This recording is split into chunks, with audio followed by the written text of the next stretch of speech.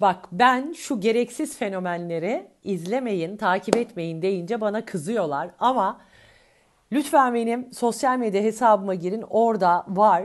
Bir tane şarkıcı mıdır nedir, adı Mef midir nedir bir video çekiyor. Sonra tabii tepkileri alınca R yapıp hemen U dönüşü yapıp videoyu siliyor ama tabii video alınıyor. Diyor ki bak diyor ben de insanım diyor. Eğer diyor şimdi diyor yani çok özür dilerim affedersiniz diyor. Ben diyor bir kıza tecavüz etsem benim yanımda duracak insanlar var diyor. Bu kendini bilmezler. İşte kimden alıyor bu saçma ve iğrenç özgüveni? Kimden? İşte onu takip edenlerden. Kendini takip eden kitleyi arkasına alıp kalkıp bu lafı edebilecek kadar gözleri ve bilinçaltıları kirlenmiş durumda. Her ne kadar videoyu silmiş olsa da o videoyu çekebilmek, o sözleri söyleyebilmek ve onları yayınlayıp tamam mı sonra silse de şu kafada bir insan olabilmek. Niye diyorum çocuklarınızı takip edin? Çocuklarınız kimlere hayran? Çünkü bu nasıldır? Yıllardır söylüyoruz. Bunu uzmanlar da söylüyor. Bir ünlüye veya tanınmış birine kardeşim bunlar hayransa onların yapmış olduğu çirkinlikleri de kendi kafalarında normalleştiriyorlar. Çünkü bakın bu bir uç örnek gibi gözükse de siz bunun bir gence, bir cahile yani yaş cahilliği dediğimiz bir şey var. 16-17 yaşındakine bir fikir vermeyeceğini söyleyebilir misiniz? Hangi uzman bunu söyleyebilir? Ama işte bu fenomenlik adı altında arkasına bir kitleyi alıp o benim bütün eleştirdiğim işte o Dilan Polatlar, o Şulemsiler, şunlar bunlar bunlar da arkalarına aldıkları kitlelerle topluma faydalı hiçbir şey vermeden kendileri nemalanıyorlar ama topluma hiçbir değer katmıyorlar.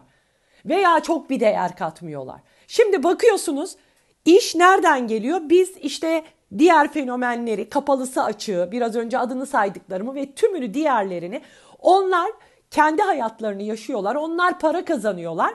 Onlar farklı yönde insanlara, genç kızlara, genç erkeklere zarar veriyorlar.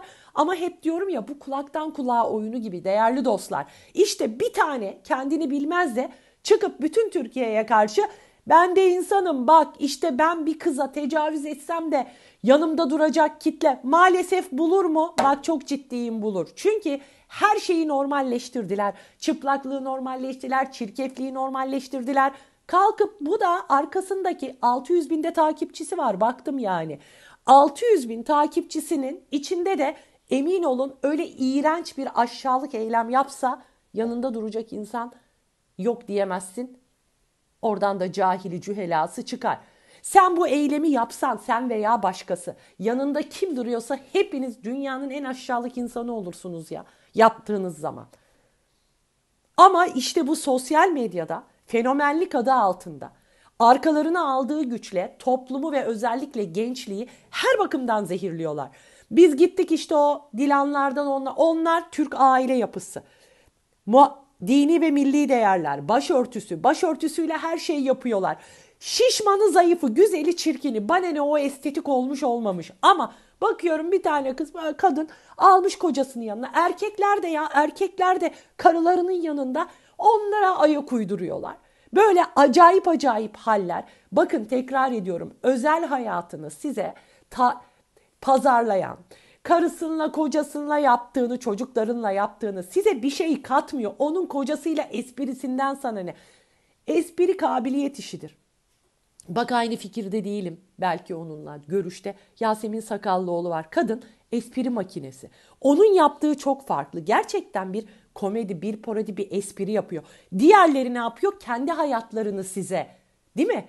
Sunuyor. Bunları takip etmeyin. Çocuklarınıza da takip ettirmeyin. Size kitap okumaya yönlendirmeyen, sizi akıllı gülmeye yönlendirmeyen, sizi küfüre yönlendiren, sizi başörtüsü veya dini değerleri kullanarak onunla dans da ederim, onu da yaparım, bunu da yaparım, plajda poz da veririm. Bunları da takip etmeyin. Bayrağınızla kalkıp da duygu sömürüsü yapanı da takip etmeyin.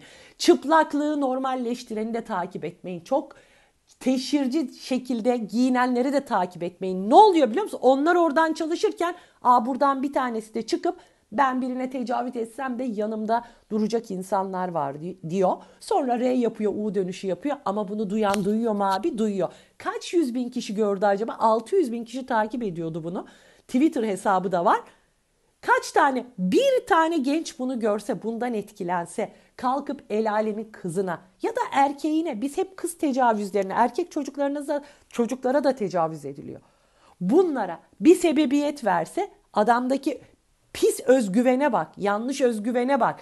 Bunu da yani diyor ki ben diyor ne yaparsam yapayım benim kitlem var. İşte bak bu noktaya geldi. Dediğime geliyor musunuz? İlla insanlar zarar mı görmesi lazım? Lanet olsun ya şu sosyal medya bak vallahi billahi kaç gündür hastayım. Yani şu sosyal medya o kadar güzel bir şey ki insan gibi kullandığında ama böyle insanlık dışı bir şekilde kullandığın zaman kardeşim yok böyle bir şey ya. Ha sen bunu yapacaksın sonra aa pişman oldum geri çekeceğim. Sayın Bakana sesleniyorum Ali Yerlikaya'ya. Lütfen bunlara bir şey yapılsın. Bunlar böyle aa yaptı paylaştı pişman oldu değil. Buna bir ceza uygulansın ya. Herkes yaysın bu böyle me- medyada da şeydir. Salar sonra geri çeker aa yanlış oldu özür dilerim. Özür dilemekle olacak bir şey değil bu ya. Sen çok önemli bir pis bir eylemden bahsediyorsun. Bunu da gayet normal diyorsun ki çok özür dilerim. Ya ben o kadar kitlem var ki en adi en aşağılık hareketi de yapsam yanımda duracak insan var. Maalesef bulur mu? Bulamaz diyemezsin. Burada çocuklarınızı korumak size düşüyor. Ne demek ya? Böyle bir cümleyi kullanıp video çekecek ve bunu topluma yayacak kadar şuurunu kaybediyorsun. Sonra tepki alınca geri çekiyorsun. Tepki almazsa duracaktı. Bu her olayda böyle. Tepki almazsalar duruyor. Tepki alırsa geri çekiyor. Niye? Kendi zarar görecek diye. Yine toplumu düşünmüyor. Bu yüzden Allah rızası için bu videomu da lütfen bu linki de her yerde paylaşın. Yayın kardeşim ya. Sosyal medya çok güzel bir şey ama işte bak kimlerin elinde. O yüzden sizlerin görevi çocuklarınızı kontrol etmek, onları iyi eğitmek, onlara iyi öğretmek, onları kontrol etmek. Özgürlük hayata karşı sorumsuz davranmak değildir. Gerçek özgürlük hayata sorumluluk duymaktır. Çocuklarınızı sorumlu yetiştirmektir. Ama özgür, ay biz enteliz, modernlik tamam mı? Sorunlu çocuk yetiştirmek, sorunlu birey olmak demek değildir. Her şeyi normalleştirirler böyle karşımıza salak salak şeyler çıkıyor. Sonra laf söyledik mi de vay efendim şöyle sevgili kardeşim Mümin Dizelli benim için güzel bir şey söyledi. Işık saçanları yangın çıkartıyor diye afişe etmeye çalışıyorlar diyor. Biz ışık saçıyoruz ışık. Yangın çıkaranları da ışık saçıyormuş gibi gösteriyorlar.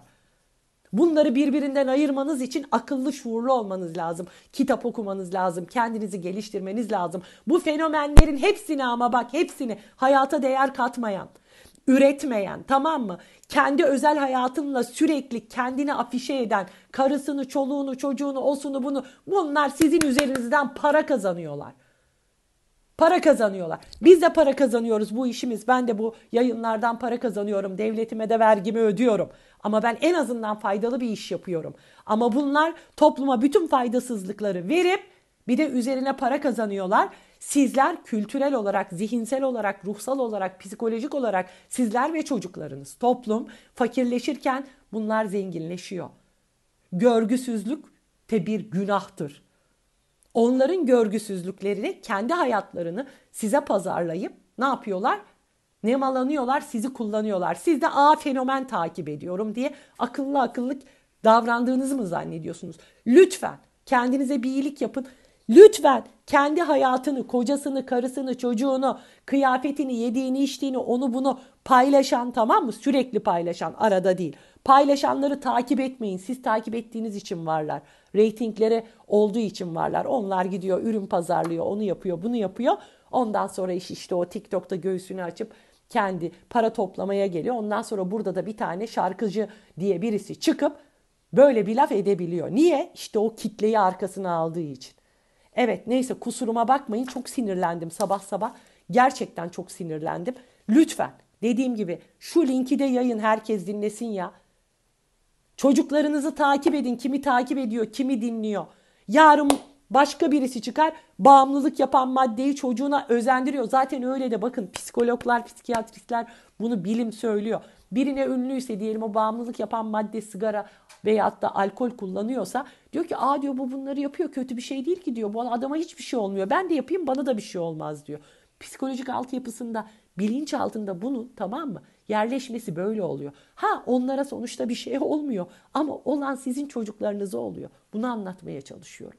Kendinize iyi bakın. Hiddetimi maruz görün ama cidden çok sinirlendim ve çok üzüldüm. Çocuklarınızı siz koruyabilirsiniz. Lütfen. Herkes çocuğun eline telefonu veriyor. Her yer internet, her yer internet. Ancak sağlıklı, bilinçli, imanlı, vicdanlı çocuklar yetiştirerek, inançlı çocuklar, ahlaklı çocuklar yetiştirerek bu önlemi alabilirsiniz. Bu kadar. Her şeyi de devletten beklemeyin. İş ailede başlar. Sağlıcakla kalın. Görüşürüz.